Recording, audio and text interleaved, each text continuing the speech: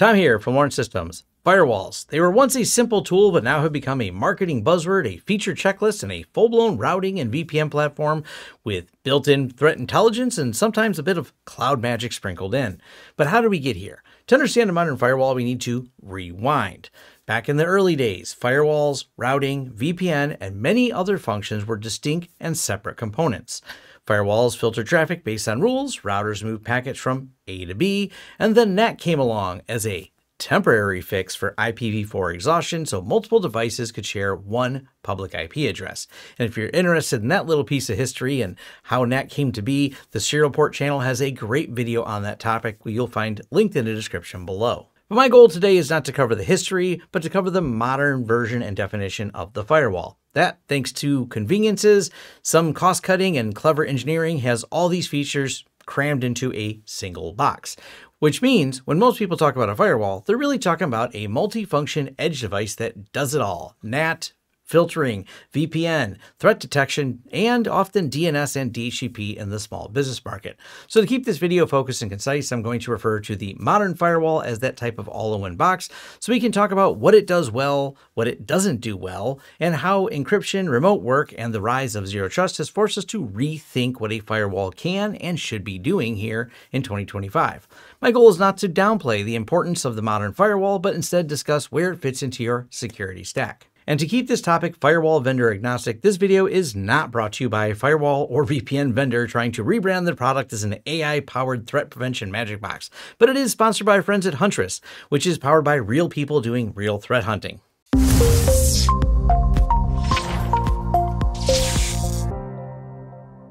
A seemingly normal login can be a red flag. It might not be you accessing your system, but a threat actor using stolen credentials. This is unwanted access. Huntress watches out for sneaky tactics and behaviors, like credential theft and session hijacking. With Huntress, you get their expert team monitoring your system 24 7, identifying and responding to threats early on. Protect your identity and your business from unwanted access, business email compromise, and more. Start your free trial today with Huntress Managed ITDR. The first thing I want to talk about is encryption, because firewalls and encryption aren't necessarily friends. Matter of fact, if you dig around in the early days, especially the 90s when I started, pretty much nothing was encrypted, and we just used Telnet across the open internet to log into things that anyone could have, you know, picked up the traffic. This is why there's so much advice out there that really doesn't hold up quite as well today but when people say, well, don't connect to some random network, especially Wi Fi networks, because all your traffic could be inspected. And well, seeing as most sites are encrypted now, that's really not the case. But in the early days, that certainly was an issue. And this is from the Electronic Frontier Tier Foundation and some reports they did. I'll leave a link to it down below, but it's the percentage of web pages loaded by Firefox, their telemetry system, and how that impacted security. So you can see in the early days, there was only under 40%, and then all the way up to when the study was on 2023, over 90% for the USA users and aggregated across all users, you have quite a bit of encryption going on. And this is coinciding as well. This is part of what the EFF was talking about is Let's Encrypt had a major role in that because Let's Encrypt made this easy to do and automated certificates. So everyone just started putting them on there. And many of the sites that aren't encrypted, there's still a small percentage of them now that are not they're not as important. And I say that because they are usually sites that are someone's blog or some old site that doesn't have a login. So outside of being able to inspect the traffic, there's not necessarily a security risk other than a privacy risk of perhaps someone seeing your traffic and being inspected. Now let's get to how firewalls in their most basic form work you have your private network thanks to NAT. And that allows the public IP to sit on the firewall. And then we have the internet, and then we get to some service online. And in early days, as I said, most of these protocols weren't encrypted. So tools like Squid Proxy could see, filter, and cache traffic. Cache was a big help, especially back when I worked at a larger company. I set up their Squid caching server because we were a transportation provider, and there were 10 dispatchers constantly checking the weather. And we, at the time, only had a T1, and it was a fractional T1, which meant that's not a lot of speed. And of course, caching is a big help in that situation.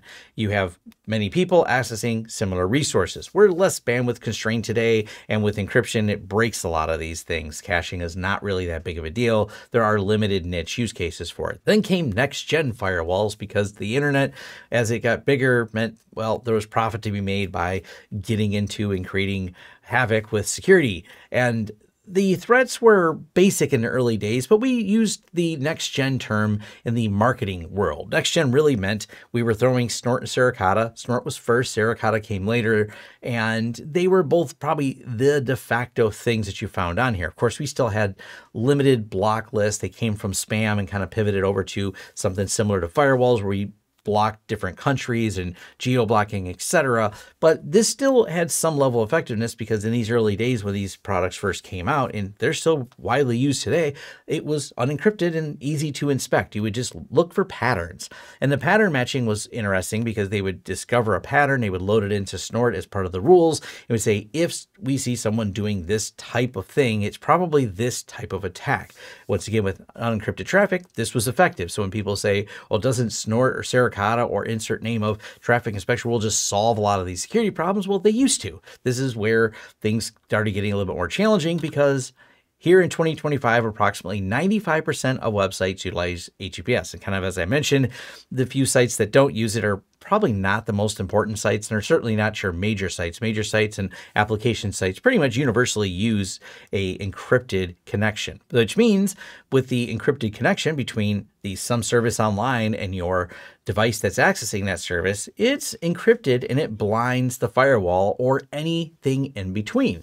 Because the idea isn't to blind a firewall, that's actually a side effect. The idea of having something encrypted was to have a secure connection between the thing you're accessing and your system. And all the way up here in TLS 1.3, it has included perfect forward secrecy, which is the secondary exchange that happens to create an ephemeral or expiring key that is just for that session. This really is a great implementation, but of course, this is wonderful for privacy and security and terrible for anyone who wants to do all the traffic inspection on a firewall. The firewall can still see the IP address, and if it's not encrypted, it can see DNS and SNI or server name indicator. Because the first step in the process when you ask for a certificate isn't just going to the IP or going to the website, it's going, hey, I would like to access this site because one IP address for some service may have many different sites. So one of the things you have to include, and this is before the encryption starts, is the server name indicator. This is what firewalls can key on for filtering. So that server name is sent and said, I would like certificate for lawrencesystems.com. And it looks and goes, hey, I have a certificate for that. And it sends a certificate and then the security starts. Now the firewall only got to see what name there was for the website, but they don't get to see any sub names after that. So if it's Lawrence Systems slash some other resource, well, you're not going to be able to see that. It only sees the name that was requested. This does allow for some basic filtering, and so many firewalls that have what they refer to as layer 7 filtering can still be effective with that, but it's limited. They're not seeing exactly all the details. Also, encrypted hello, ESNI. There's other things out there at play that aren't really here and fully used in 2025, but they're coming where there's a level of encryption going on. So you would then lose that. And of course, this blinds the firewall again. Now, Blocking IPs and DNS can still work, provided the firewall is even the source of DNS. Smaller networks, yes. Larger enterprise networks, not necessarily. Usually Active Directory or some other server is going to be the source of truth for DNS. And it becomes just much less effective, especially when you talk about IP blocking, because modern threats are using things like the mentioned of SNI going to a common single IP address. So if that single IP address is set up with something like a Cloudflare and a Cloudflare CDN with a tunnel, you can't just block it by IP because you can have an SNI header that sends a request for badwebsite.com and you want to block that. But if I blocked it by IP and there was other services on that CDN, well, if that important service you need is also on that CDN, blocking IPs just becomes a less effective way to do it. It's not 100% dead, but it just doesn't have the same impact based on modern security threats. Doesn't installing certs in all the hosts solve this problem though? Because then we'd have full visibility again. Ah, yes, firewalls and encryption, and this is where we install a cert. We take a cert and we put it on the firewall, we put it on the endpoint.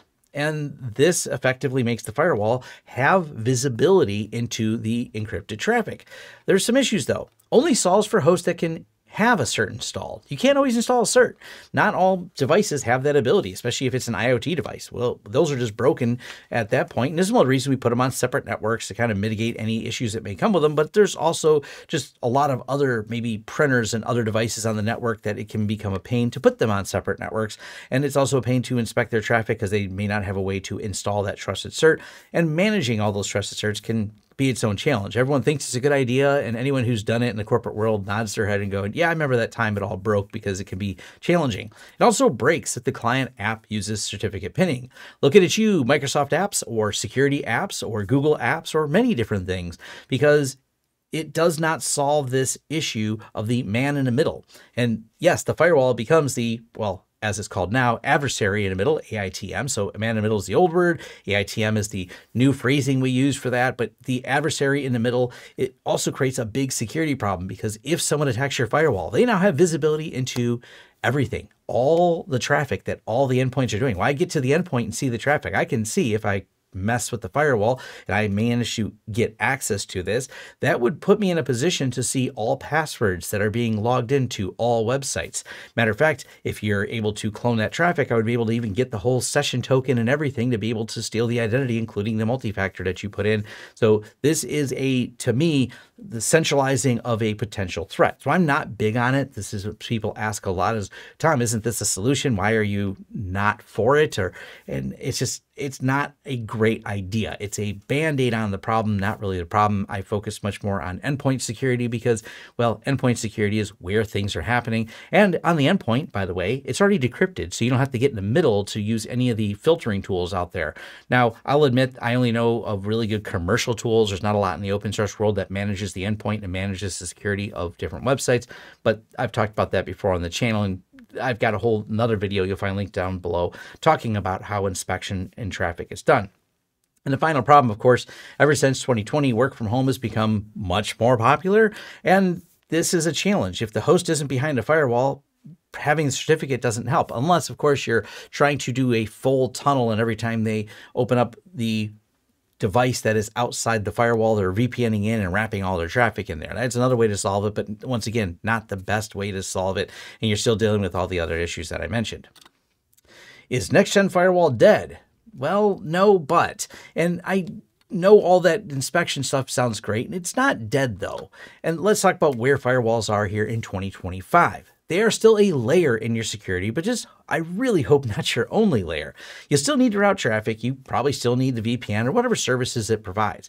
And there is some effectiveness to some of these block lists. There's definitely amateurs out there. They don't go away. They just can't pick on the people who have better security. So this is the concept of running faster than the thing chasing you. You don't have to run faster than the bear. You only have to run faster than each other person that's slower than the bear because they'll catch up with them and maybe they'll catch up to you. But better idea for security really is having a lot more layers and not just depending on these block lists. So there's the less sophisticated attacks that are probably still going to be effective when it comes to the older things that are out there in your firewall being able to block them, but it doesn't really protect you against modern, much more sophisticated attacks, which are becoming a lot more common because of the layers and cat and mouse race that is security. Now, how does zero trust play into this and why does it matter and what does it have to do with firewalls? And let's talk about zero trust architecture, not from the marketing buzzwords that we'll get to in a moment, but what it actually means as defined by NIST.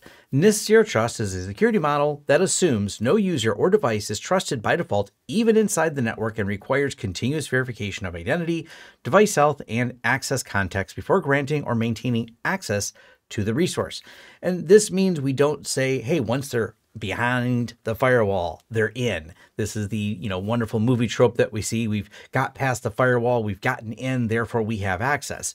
No, in a zero trust world, you can be positioned with a VPN, and VPNs can be a part of that where you get into the network, but that doesn't grant you access to the resource necessarily. It brings you to the next login screen. It's part of layering your security.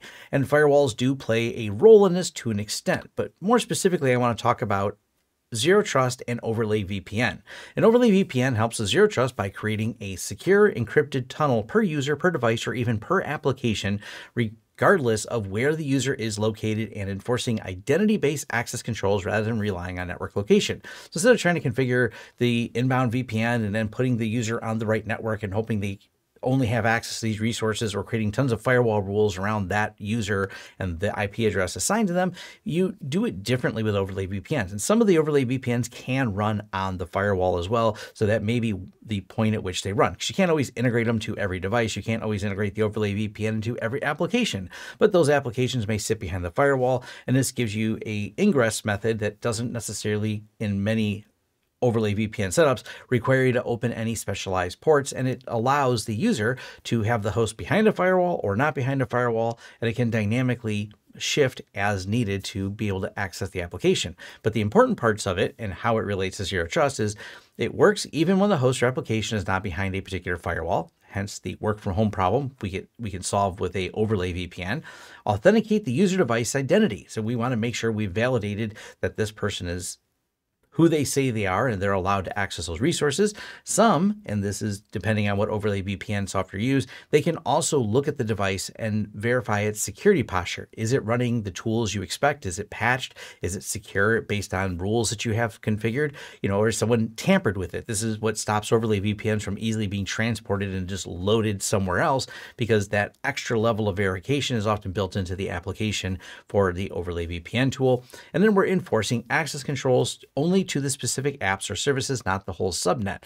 When you get granular with an overlay VPN, you're connecting it to the resources. So we load the user into our overlay VPN software and we say, this user has access to only these resources. So where they are in the network doesn't matter the overlay VPN is bridging them to the resources you allow them access to and no more. This is kind of the combination of Zero Trust and overlay VPN. All right, now let's put our marketing hat on because didn't you just use a lot more words to describe what we use the acronym SASE for? Well, marketing uses SASE. SASE is the sales and marketing buzzword, but overlay VPNs are what actually gets the job done encrypting traffic, verifying identity, enforcing least privilege access without turning your network into a trust free for all. Secure access edge service is just the latest in a buzzword soup that marketing will slap on products, call it a cloud driven firewall or whatever the buzzwords are. I try to cut through the buzzwords and look for the functional things and how they're working. You know, it's the same way we called firewalls next generation because we threw some threat monitoring on them and that word has stuck with every firewall because I think every firewall is next generation, but then watch people squabble because if a firewall doesn't have a feature of another one, but they've both called them next generation, well, we're back to just referring to marketing terms. Overlay VPN is a much more specific term for the functional way things are getting done. But I will admit, yes, it is also frequently called, if you're trying to look at some of the products, it might be referred to as SASE. We're about 17 minutes into this video, and since you made it this far, I hope this gives you a better understanding as to why I say firewalls play a smaller part in protecting you against modern threats here in 2025. If you've got thoughts, questions, or different takes about today's topic, drop them in the comments down below. I always enjoy hearing and learning from all of you. For deeper technical dives and ongoing discussions, head over to forums.lawrencesystems.com, where we've got a great community of people just like you to engage with on this and other topics. If you want to help support the channel and what I do here, check out our swag store or Patreon. Don't forget to like and subscribe, click that notification bell icon so you don't miss any future videos. And if you're looking to connect with me or learn more about the services we offer, head over to lawrencesystems.com. You'll find links to my socials and more ways to get in touch. Thanks for watching, and remember, security is built in layers, marketing buzzwords don't solve security issues, and threat actors are more likely to log in than break in. Therefore, you should stop reusing your passwords. Thanks.